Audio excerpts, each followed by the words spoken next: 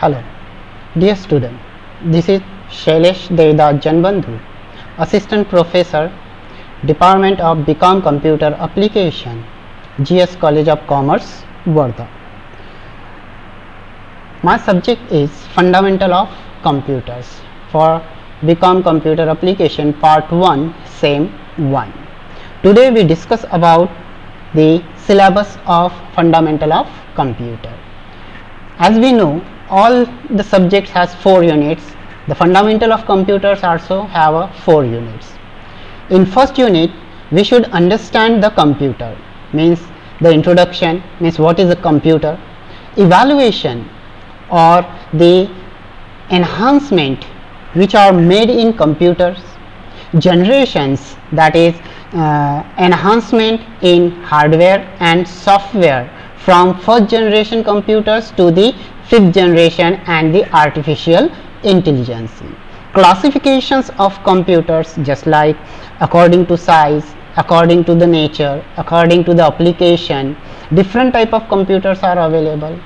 We say that the computers are same but according to their size we distinguish or classify in mini micro super likewise same way applications on uh, application computer uh, or special type of computers which are made for specific task. Same as application of computers different type of applications just like in computers are used here application means not a software. Here application means the use of computers in different sectors just like banking sector airline uh, sector uh, then we can say that office management all these things are used in a application. In recently we use uh, applications of uh, com computers in uh, shops also because all the bills are generated by computers nowadays. Next topic in unit 1 is memory and storage system. As we know the memory is most important because all the data will be stored into the computer system. To store that data into uh, computer system we need a memory. So different type of memories are available. Memory how a memory can be represented what are the ram what are the rom different type of storage system just like uh, magnetic disk system optical storage magneto optical storage st solid state storage devices. As we know uh, we stored our data in our phone also but the data will be stored in memory not in a phone. Same way the data will be stored into the computer system on memory. That is called hard disk or pen drive or uh, CD drive. These all things can be store uh, uh, these all thing can be used to store the data optical storage system just like CD drive CD uh, compact disk the data will be stored on bitmap magneto optical system just like hard disk and solid state storage devices just like our pen drive and the memory cards. The second unit is having two chapters that is input devices, output devices, computer codes. Input devices. Input devices are the those devices by which we can provide the data to the computer system. All we know com, uh, computer cannot work without data because when we provide instructions or data to the computer system that data can be processed by a computer system. So, computer need a data. Through input devices we can provide the data to the computer. Just like when we want to provide any command that time we use pointing devices and keyboard devices. Just like keyboard device we type alphanumerical data or when we want to provide the command using the keyboard or type the command using the keyboard. That time the data will be transferred by user using keys which are available on our keyboard. That data will be transferred to the memory of a computer system and translate it into their format. Pointing devices.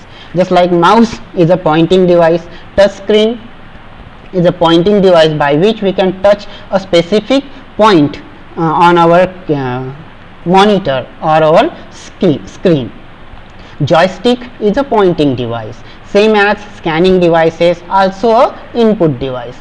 Scanning devices scanner is used to scan hard copy into and convert into the soft copy. That is called as a scanning. Scanning means just transfer from hard copy to soft copy hard copy. Any type of printed material is called as a hard copy. And whatever on your screen on desktop screen, laptop screen or mobile screen is called as a soft copy. And that can be done through the scanning devices.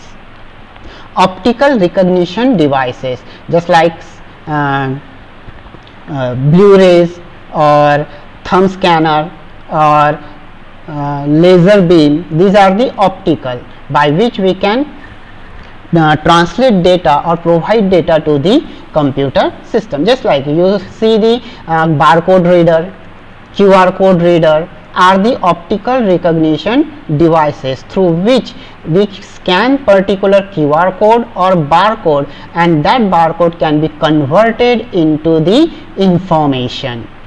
Same way digital camera voice rec recognition system data acquisition sensor media input devices just like media input devices our headphones are media input devices through which we can provide the data to the computer system. Output devices. Same way when we want to provide the data to the computer system that uh, operation is called input and when computer system process that data and provide the information on our screen is called output. And that can be provided through the output devices. Just like first output device of any computer system is screen or monitor. We have different type of monitors crt screen led screen our laptop screen. These are the monitors on which our data will be presented in a soft copy manner. So our first output device is monitors.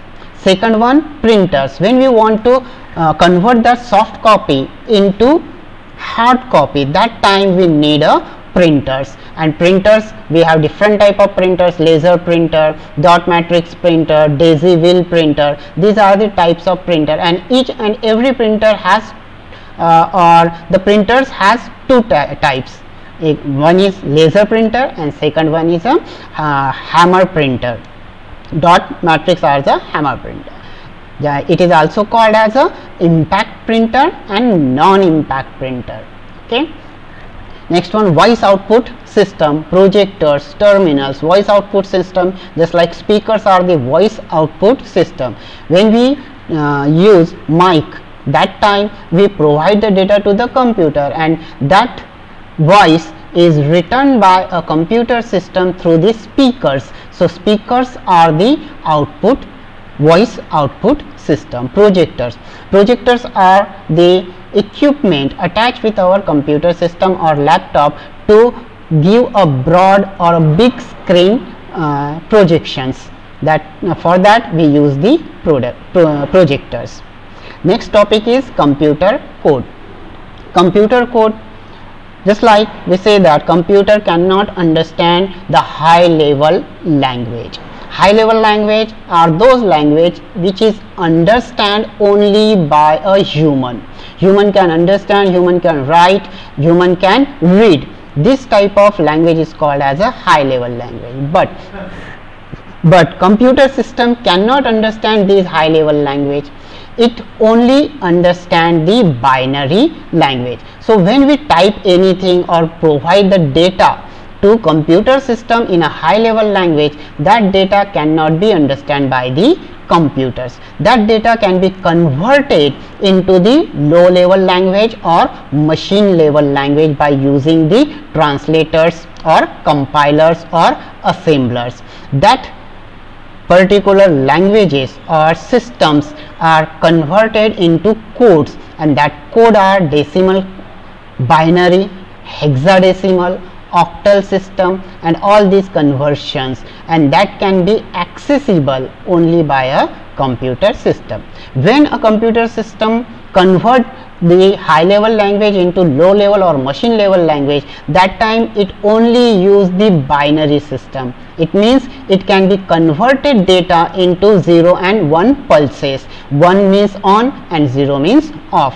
When after the process the output will be displayed on our screen but that output can be created by the computer system in a binary. But after the binary conversion it will translate it into high level language and provide the high level language on our computer screen. So computers only understand binary language that is called machine level language and human can only understand the high level language next unit is unit third and it has three chapters that is computer software, programming language and data communication network. Computer software. If we do not have operating system or application software, we cannot do a single thing with a computer. If computer doesn't have operating system, we cannot open or on that computer system. It is just a black box because we cannot work on it. So to uh, to manipulate to manage we need a softwares. We have two types of softwares.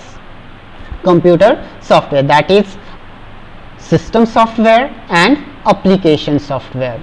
System software are those software which manage the computer system. It is also called a operating software or oper operating system. It can manage all the things all the peripherals all the uh, keyboard mouse these are called as a peripheral of a computer system. And these peripherals can be managed by a uh, software. That software is called as a operating system. Second type is application software.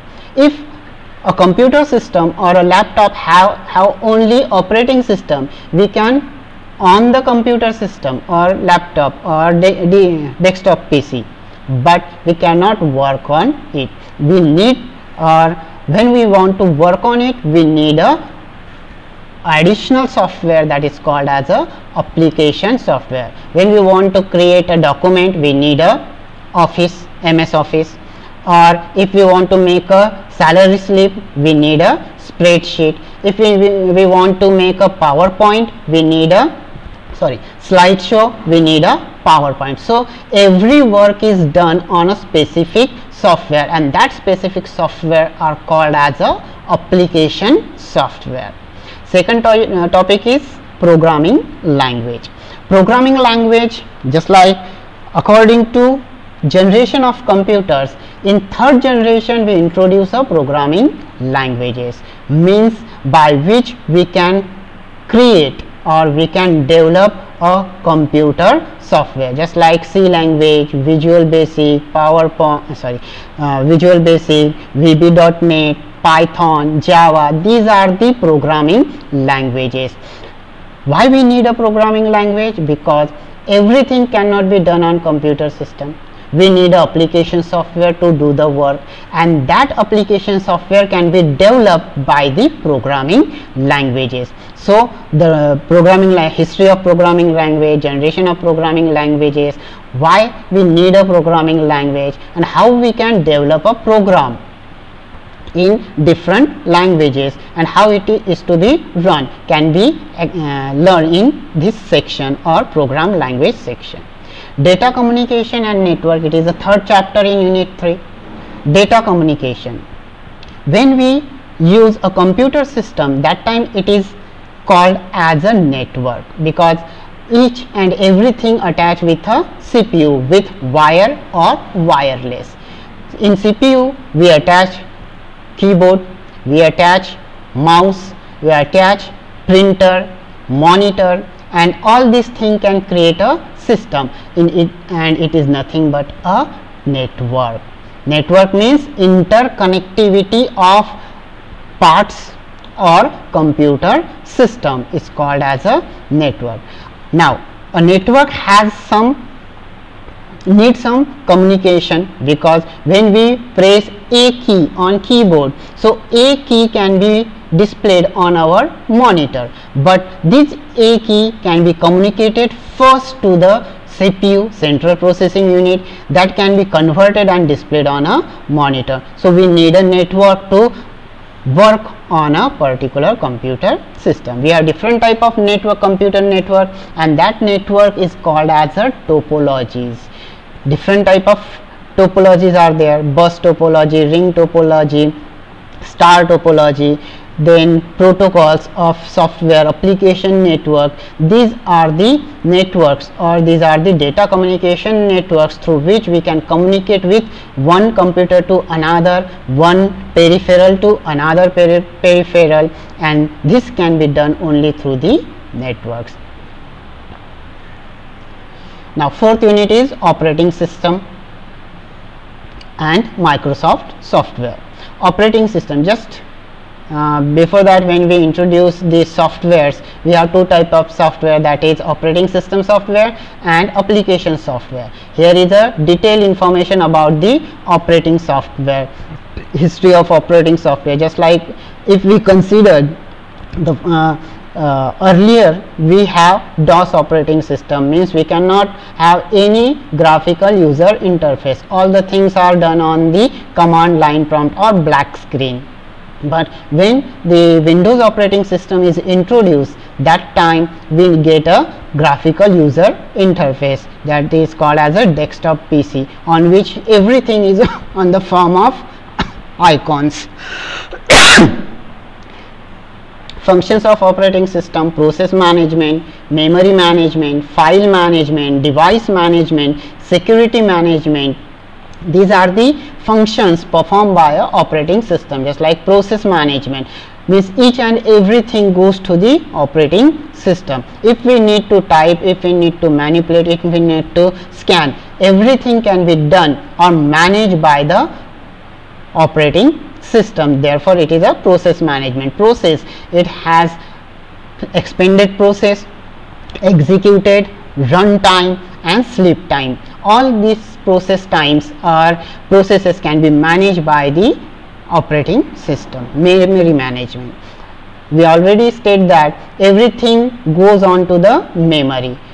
On RAM always a hard disk. When we want to store data temporary or uh, work on a computer system that data always on a temporary manner. But when we want to store that data permanently that time we need a access of hard disk or memory. That memory management can be done only through operating system.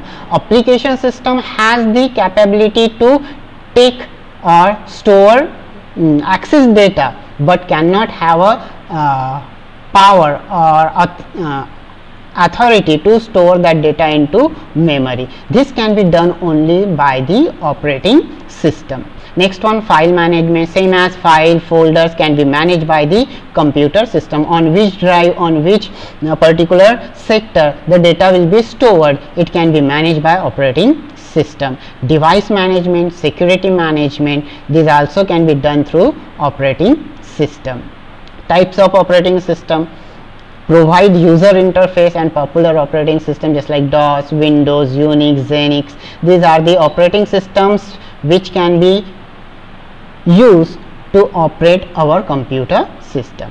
Microsoft software introduction of MS DOS, MS Word system, MS Excel system, MS PowerPoint system, MS Access system. Word is used to uh, provide or create the documentation MS Excel is used to uh, create the Excel sheet, MS PowerPoint used to create a slideshow or PowerPoint slideshow. Access is used to store the data into uh, database. This uh, on this particular chapter, all the all our practicals are based on the Word, Excel, PowerPoint, and Access.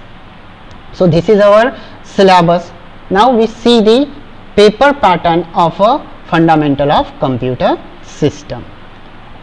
We have in uh, paper pattern we have three parts that is part A which carries 2 marks or which carries 8 questions having 2 marks and the answer should not be more than 5 lines.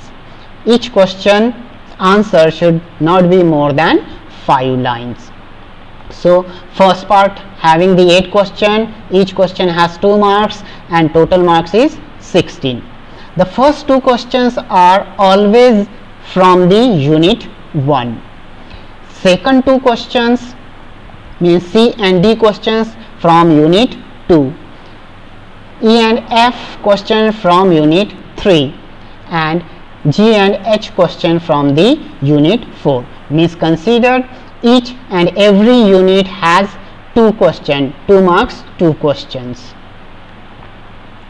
Second part B part. It also ha have 8 questions but it carries 3 marks. Each question carries 3 marks. Answer should not more than 10 lines. Answer should not more than 10 lines. And its wattage is 24 marks.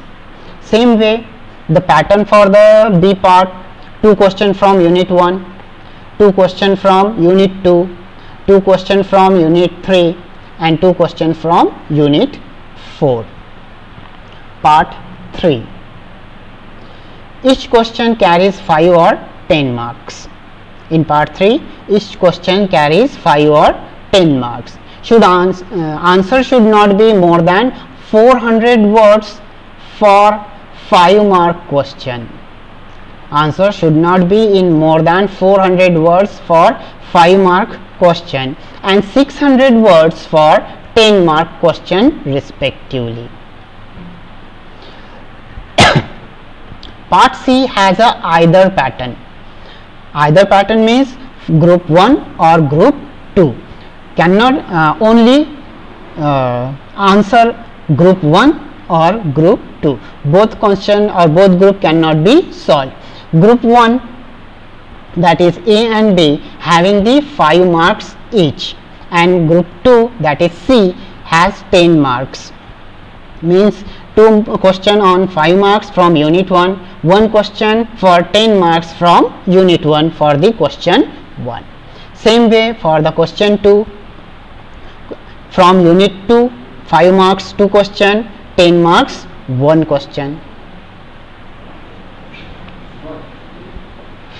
question 3 it also from the either pattern. A and b from uh, unit 3 and 10 marks question from unit 3 question 4 it is also either pattern for the unit 4 a and b each for 5 marks from unit 4 c 10 marks from unit 4 So, this is our syllabus for semester 1 fundamental of computers. Thank you.